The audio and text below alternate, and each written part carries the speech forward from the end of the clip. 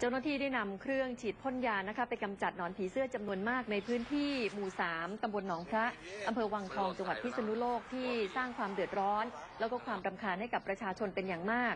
นางสาวนิสานาถกาสินกาสินครบุรี เจ้าของบ้านเลขที่ 253ทับ1หมู่ 3ตำบลหนองพระ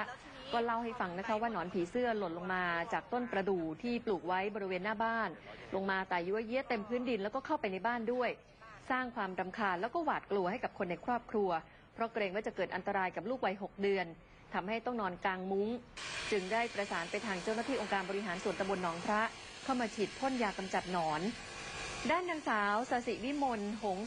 37 หัวหน้าสำนักปลัดอบตหนองพระก็บอกว่าวันนี้เจ้าหน้าที่ได้นำเครื่องฉีดพ่นยาไปกำจัด เพื่อจะลดจำนวนของหนอน แต่ว่าด้วยปริมาณหนอนที่มีเยอะมากนะคะ จึงไม่สามารถจะกำจัดออกไปได้หมด แต่ก็คาดอีกว่าอีก 3-4 วันเนี่ยหนอนเหล่านี้ก็จะเป็นผีเสื้อแล้วก็บินไปในที่สุด ค่ะ คืออีก 3-4 วันตอนที่มันเป็นผีเสื้อนี่มันคงจะสวยเหมือนกันนะ อยากเห็นตอนที่กลายเป็นผีเสื้อพร้อมๆกันนะคะ แต่ใช่ตอนนี้เนี่ยเห็นแล้วขนลุก ใช่ค่ะเพราะก็บอกว่าไปโดนเนี่ยก็จะคันด้วยนะคะค่ะ